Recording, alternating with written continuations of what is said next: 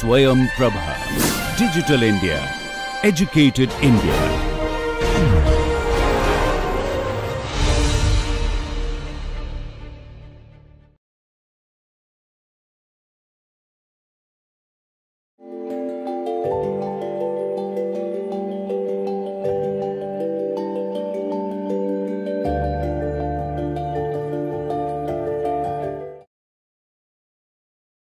Okay, welcome to lecture uh, 69. So, we have started with the reference frame which is uh, which is required for carrying out the orbit determination. So, in that context we were looking at various inertial reference frame which are available currently and uh, out of that we have uh, and those we have termed as the international celestial reference frame then FK 5 and uh, of course, our uh, the Mm, the other one the dynamical reference frame. So, dynamical reference frame as we look into the previous lecture. So, here uh, this you can uh, the dynamic there are uh, if you look in the literature or in the books so in the books only the FK 5 and the ICRS this will be mentioned. Dynamical reference frame is also there. So, uh, and this is purely based on the dynamics. So, we can call this as the earth mean equator of 2000. This is also written as EME 2000 or you can write as, as J 2000, but this will be much better to write this as earth mean equator of 2000. So, this serves as a uh, one of the reference frame and FK 5 is another. So, FK 5 also in this the J 2000 is defined, defined means at the January 2000 1st January 2000 at 12 pm. Now, I will show why they are different okay, which the only some journal papers they mention about that in the, but in the book I have not seen uh, this to be mentioned.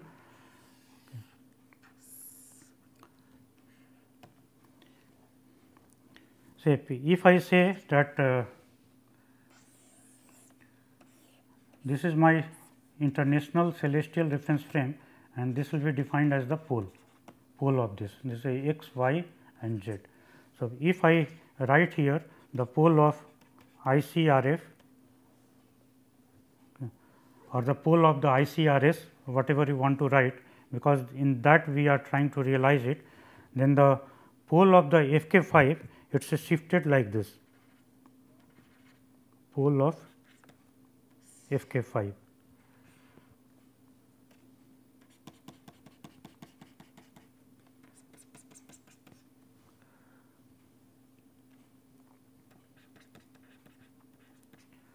And this distance is 19.9 milli arc second. These are angular distance okay, 9.1 milli arc second.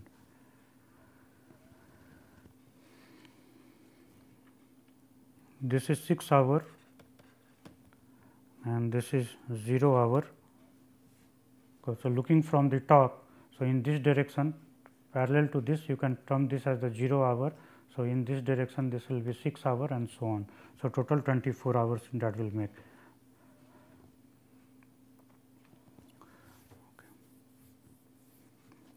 And uh, the J 2000 or the EME 2000 what we call is a pole of J 2000 it is located here and this distance is 17.2 milli arc second and this one is 5.1 milli arc second. So, you can see that the pole of FK 5 and pole of J 2000 and the pole of ICRS they are not the same. So, that means they are not the same reference frame, but the ICRS has been constructed using the quasars and the galactic nuclei in such a way that it lies as close as possible to the P j 2000 and P f k 5, the pole of f k 5 and pole of j 2000 as close as possible, because there should be continuity arbitrarily we cannot do. So, whatever the measurements were earlier done, so earlier this was defined. So, on that the f k 5 was defined. So, in this thousands of stars were added based on stars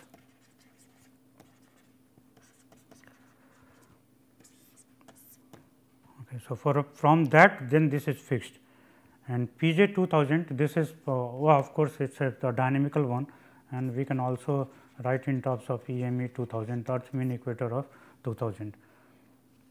Okay. Now, if we look the same thing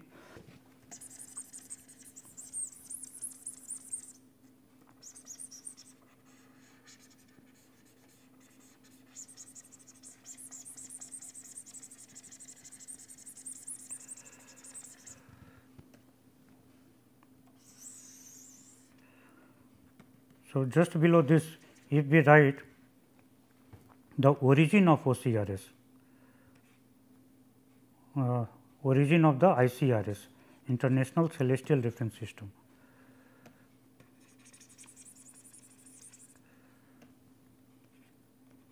origin of ICRS. So, the origin of that means this point on the sphere we will call this as the origin. Origin this is called the origin of right ascension and in short we just call it origin. Origin of right ascension. In short only I will be using this as the origin. So, here the origin of the ICRS is located. Okay. Then at a distance of 22.9 milli arc second, your f k origin of f k 5 is located f k 5. So, that means the, that one is another reference frame. Okay. So, the inclination the pole is different and also the origin is different. Okay. They are not the same. So, you can see the changes and similarly we will have the EME or gamma J 2000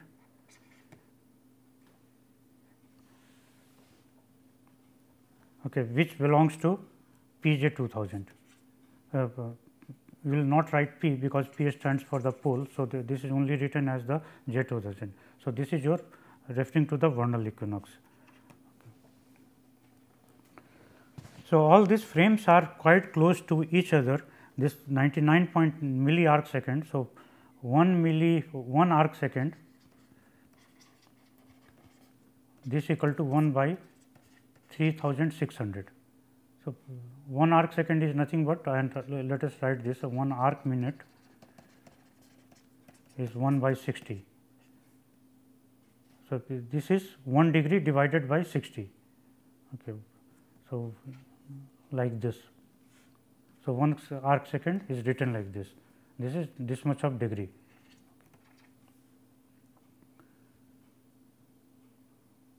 And 1 arc minute if you uh, 1 arc minute and here we will replace this with and 1 arc second is symbol is given like this 1 arc minute is given symbol like this so, 1 degree divided by 60 that gives you 1 minute just like in the needle of a watch it is a moving. So, it is a uh, 60 it is divided into 60 degrees. So, 1 minute you get 60 seconds the same way it is defined. So, 1 arc second 1 minute divided by 3 3600. Okay. So, 1 milli arc second will be 1 divided by 3600 and milli means so, this is 1 milli arc second. So, this is a very small quantity. So, you can see for all practical purpose you can assume them to be uh, coinciding. But ICRS is a difference convention and uh, for uh, converting the coordinates from the inertial to non inertial frame they have their own convention. So, ICRS convention it is a different little and also based on the non rotating origin the latest one non rotating. If I get time, so I will go into this otherwise I will supply you with the materials.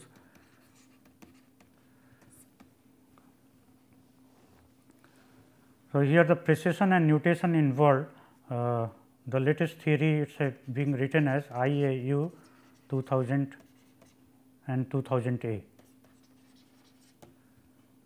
These are the two models available where the precession, precession nutations have been combined together. And what we will do here a uh, in this frame or either in this frame we will assume them to be the same. So, in that we will assume precession and nutation to be two separate phenomenon and uh, we will model them and finally, we will transfer from the celestial reference frame to the terrestrial reference frame and what the terrestrial reference frame is uh, will that also will come to know across time. So, terrestrial reference frame is a frame fixed to the earth, but uh, there are certain definition for that and it is rotating along with the earth. Okay. But the inertial frames they are non rotating non accelerating inertial implies it is a non rotating non accelerating. So, this way we see that these uh, frames are different, but for practical purpose they appear to be the same. Okay. But for precise modeling, very very precise modeling, you require to differentiate between all these three. Okay. And in your, in your conversion, you should be consistent. You cannot do that. You have taken something in uh, the PJ 2000 and then in the and gone to terrestrial and from terrestrial again converting. So, there you have either taken FK 5 or ICRS. So, that way the things will be wrong then.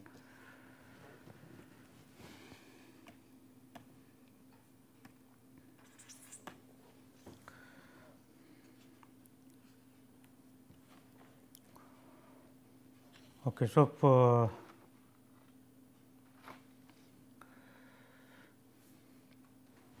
So, in the reference frame uh, already I have listed that one is dynamically defined another one it is uh, non dynamically defined. So, we have uh, two types this is uh, what we have discussed earlier in the last lecture. Here the types of astronomical reference, reference frame how they are fixed and now based on the type we can write it two types of astronomical reference frame. One is defined kinematically, which already I have told and another one defined dynamically.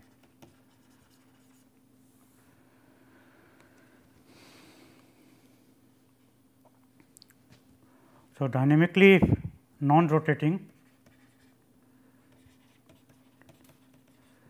this is pseudo inertial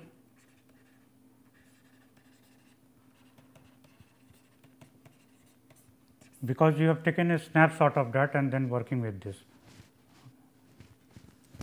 And kinematically non rotating this comes from the fact that you have chosen the fiducial points such that they are not showing on the in the celestial background they are not showing any motion. So, this is based on this is based on the assumption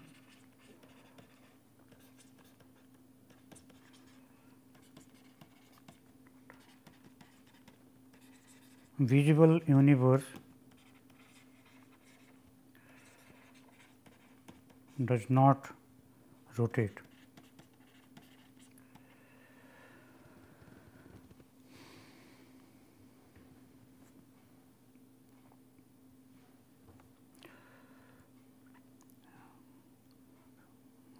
So, in the visible universe what we are doing here? We are using the quasars whose apparent motion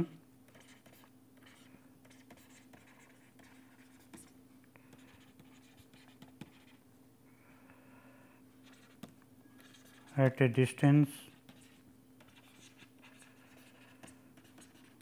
greater than 100 megaparsec as earlier I have told you.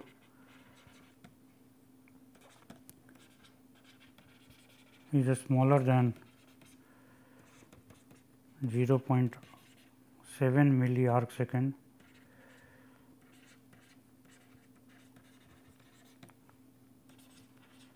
per year or even less.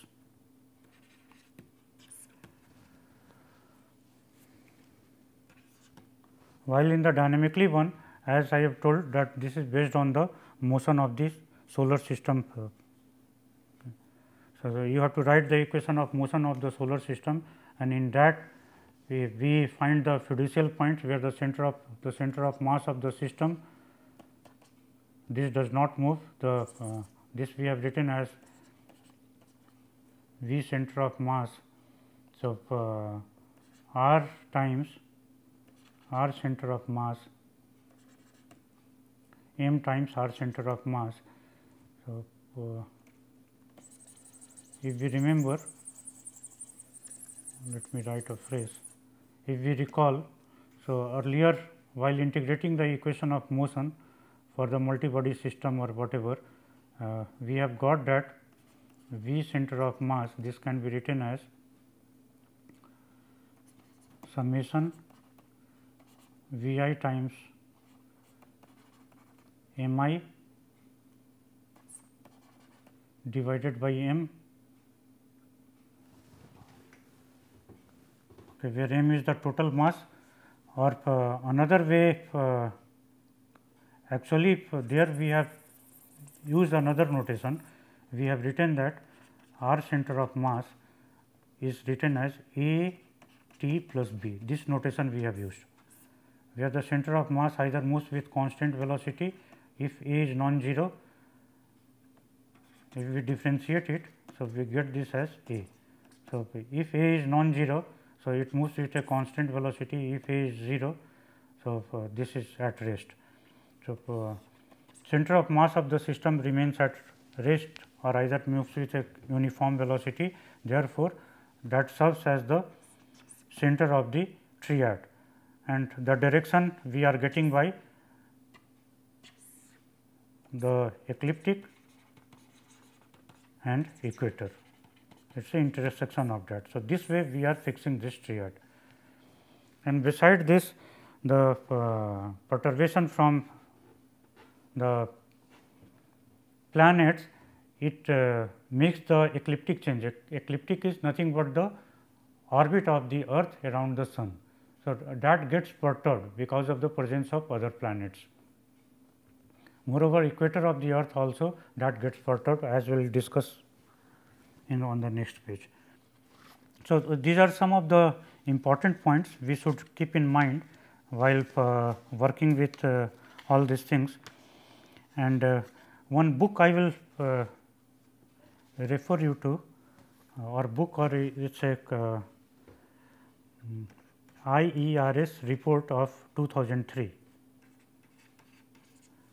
This is called the International international earth rotation system. So, this pub, this published in 2003 uh, one report. So, at that time uh, I worked on worked in this area. So, uh, I am aware of.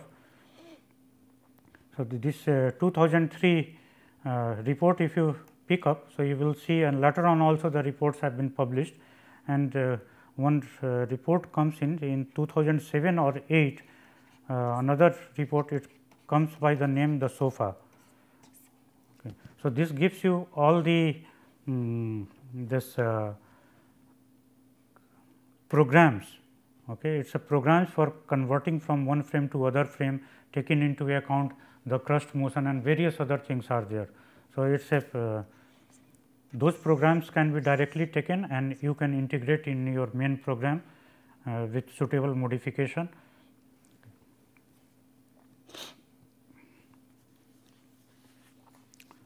Okay, so, uh, now we go into uh, because we are discussing about the uh, our uh, frames.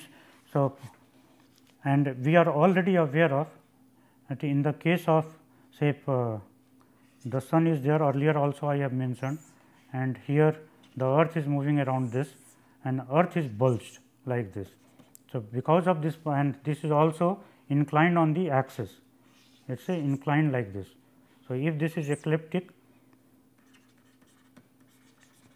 as mentioned earlier and uh, the equator is here in this direction and it is a bulged the earth is bulged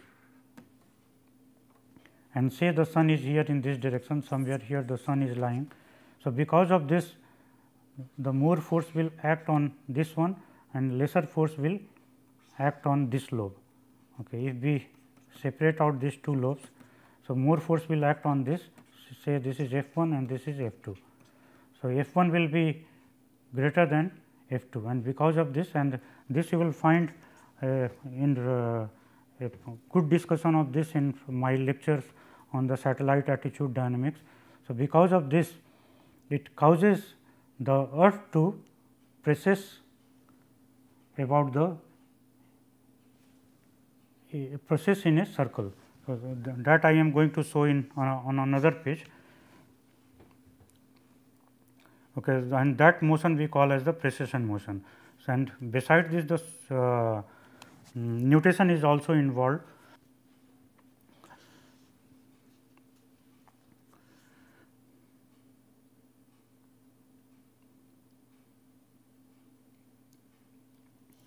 So, there are the precession and the nutation motion involved which we need to discuss to understand this and we will discuss it briefly not in very uh, at a very large length.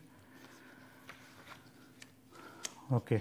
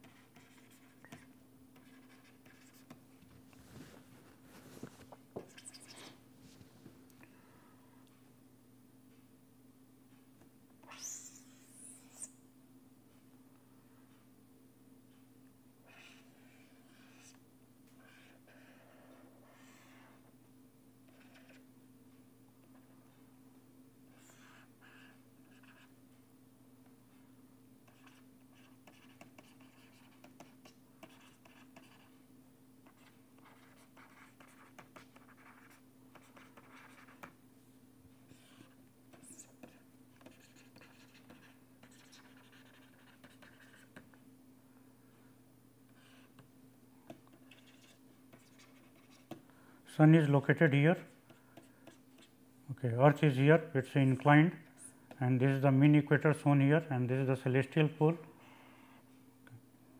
and this is the ecliptic pole means perpendicular to the this ecliptic which is the orbit of the earth around the sun. Okay. So, this orbit of the sun this also uh, orbit of the earth this also gets perturbed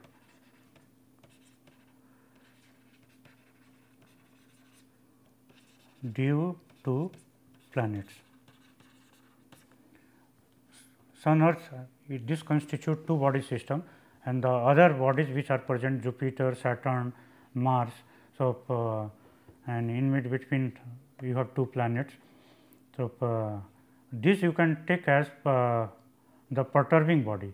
So, therefore, the orbit of the earth also gets perturbed that means the ecliptic plane also gets perturbed.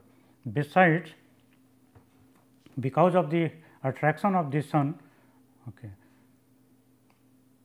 So, if you uh, look at the earth here in this point,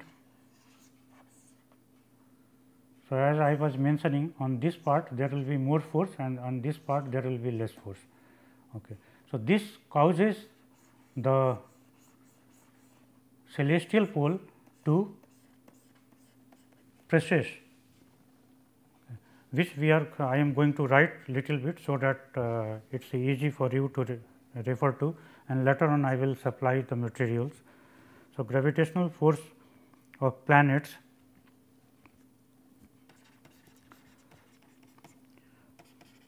affect the orbit of earth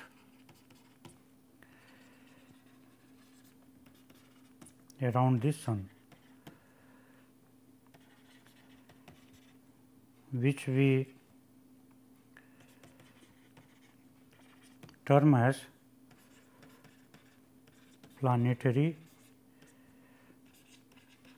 precession. So, that means the orbit of the earth is getting perturbed means the ecliptic is getting perturbed.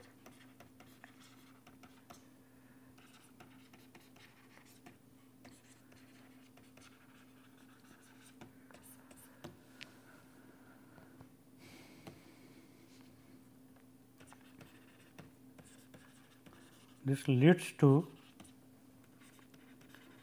slow secular already in the uh, general perturbation theory we have discussed all these issues how does what does mean by secular it's a which varies with time and uh, this not periodic.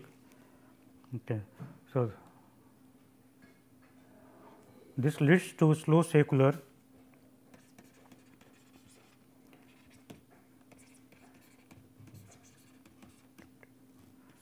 ecliptic plane orientation.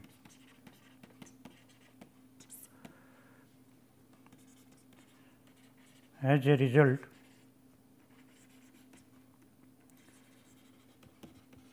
equinox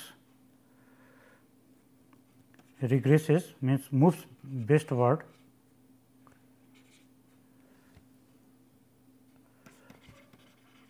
moves westward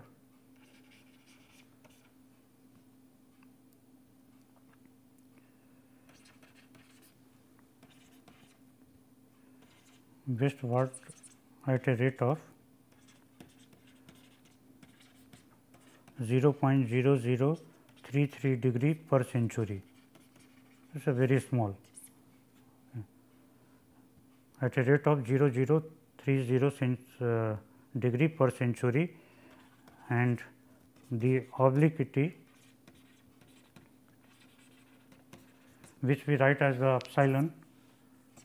So, this is a ecliptic and this is your epsilon, this is equator.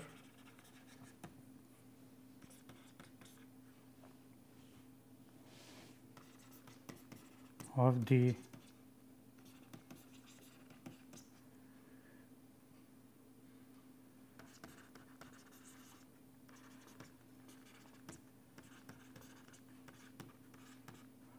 one five per century.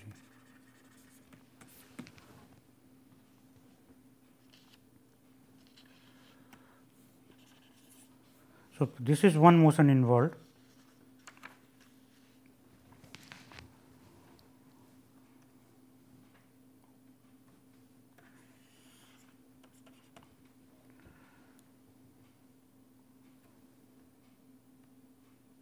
So, because of this you will see that this angle is changing and also on the equator this right now this is gamma. So, later on the gamma will come to this place later on this will come to this place. Okay, so, this will move westward this is the west movement west movement.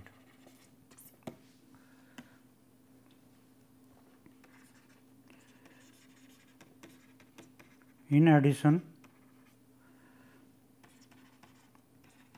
sun and moon it is a gravitational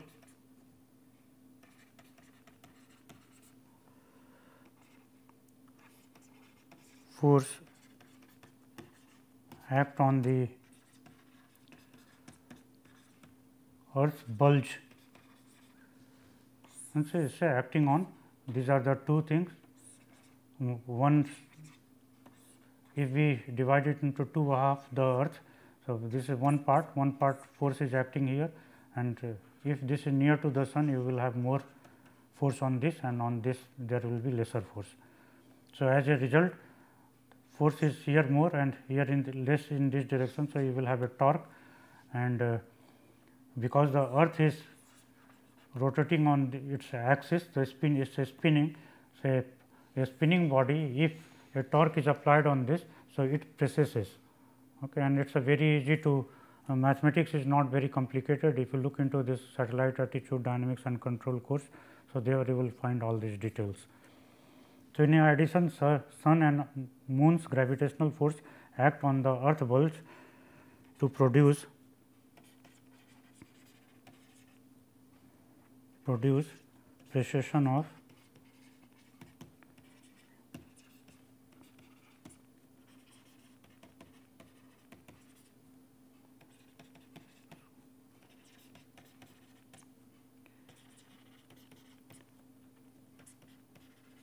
this is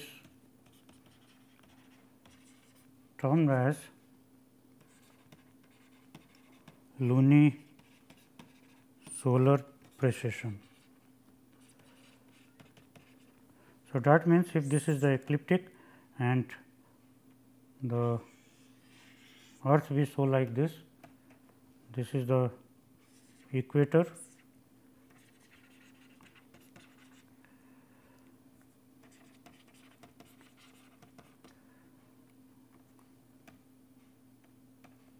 in this direction we have pole of ecliptic and uh, along this direction the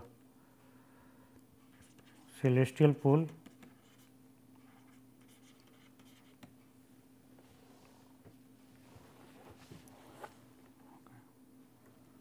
So, this celestial pole then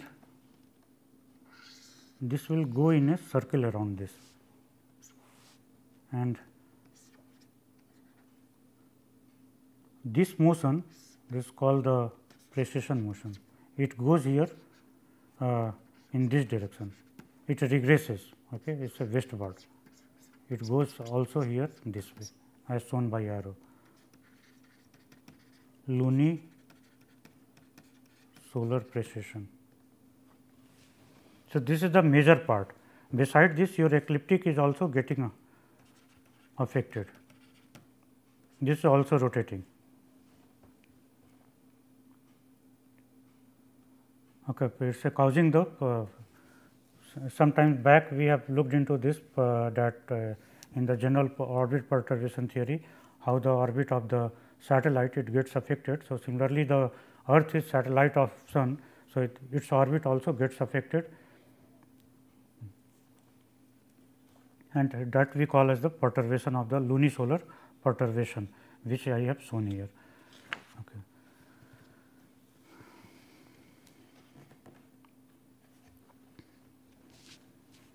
So, this uh,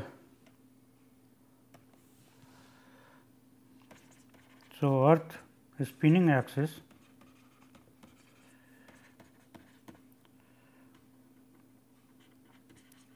traces a circle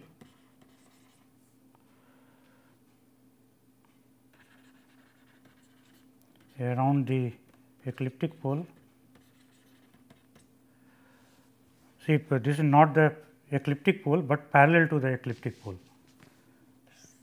This is the ecliptic and its center will be here and earth is here.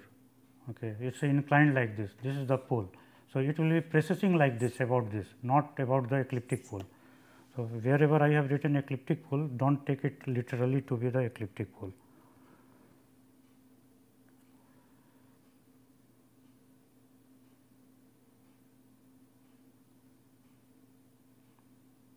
Okay, so this is the rotation is taking place like this. So, I do not see written anywhere right now. So, precession of spinning axis of the this is termed as the lunisolar precession. So, uh, Earth axis traces a circle around the a, it is better not to write it traces a circle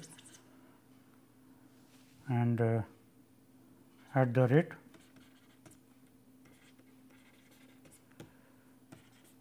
0.013846 degree per year.